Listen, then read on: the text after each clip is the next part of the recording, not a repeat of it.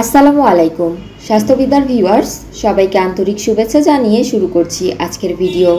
আজ আমরা আলোচনা করব শিশুদের স্মার্টফোন ব্যবহারে যেসব বিষয়ে সতর্ক করছে গবেষণা। চলুন শুরু করা যাক। প্রযুক্তি নির্ভর বিশ্বে বেড়েই চলেছে স্মার্টফোনের ব্যবহার।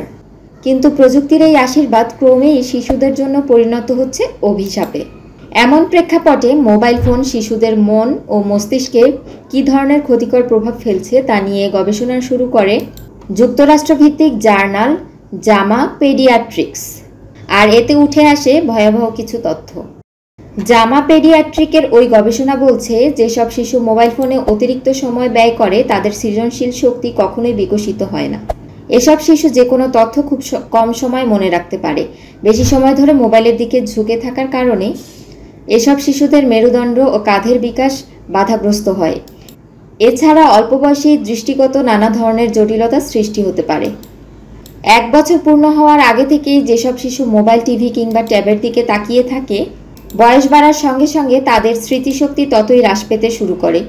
যেসব শিশু সারা দিনে দুই ঘণ্টার বেশি সময় ধরে টিভি কিংবা ফোনে ব্যস্ত থাকে, নয় বছর বয়সে গিয়ে তাদের স্মৃতিশক্তি অন্যদের তুলনায় অনেকটাই কমে যায়। পড়া মনে রাখতে না পারা, বুঝতে না পারা, কাউকে মনে রাখতে না পারার মতো বিভিন্ন ধরনের স্মৃতিগত সমস্যাও তৈরি হতে পারে।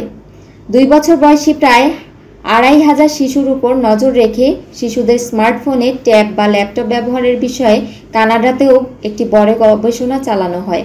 গবেষণায় দেখা যায়, স্ক্রিন ব্যবহারের ফলে শিশুদের দক্ষতার বিকাশ, কথা বলতে শেখা সহ আচরণগত নানা ধরনের সমস্যার সম্মুখীন হতে হয়।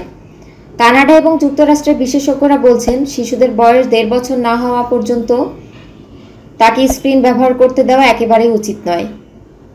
শিশুদের কোন বয়সে ডিভাইস দেওয়া উচিত আর কতক্ষণ স্ক্রিন টাইম পেতে পারে, তার একটি মানদণ্ড তুলে ধরেছে বিশ্ব স্বাস্থ্য সংস্থা সহ বিশ্বের বিভিন্ন গবেষক। মানদণ্ড অনুযায়ী জন্ম থেকে আঠারো মাস পর্যন্ত শিশুদের ডিভাইস ব্যবহার করতে দেওয়া একেবারেই উচিত নয়। তবে নিকট আত্মীয়দের সঙ্গে কথা বলার জন্য ভিডিও কলে তাকে খুব অল্প কিছু সময় দেওয়া যেতে পারে।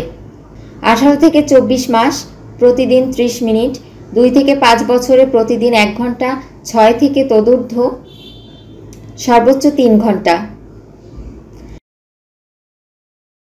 খেয়াল রাখতে হবে বাচ্চা কি দেখছে। শিশুদের স্মার্টফোনে আসক্তি কীভাবে কমানো যায়। প্রথমে আপনাকে লক্ষ্য করতে হবে আপনি নিজে মোবাইল ফোনে আসক্ত কিনা।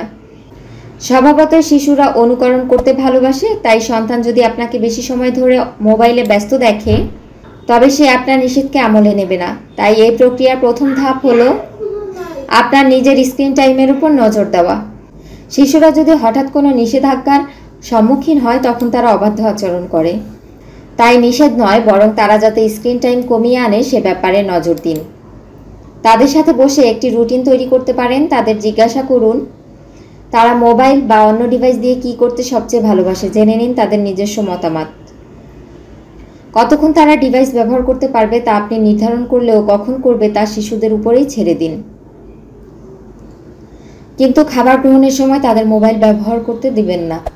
তারা যা ভালোবাসে তা করতে উৎসাহিত করুন। ছবি আঁকা, খেলাধুলা করা, গান গাওয়া বা গল্পের বই পড়ার অভ্যাস বাচ্চার মূল্যবোধ ও চিন্তাশক্তির বিকাশ ঘটায়।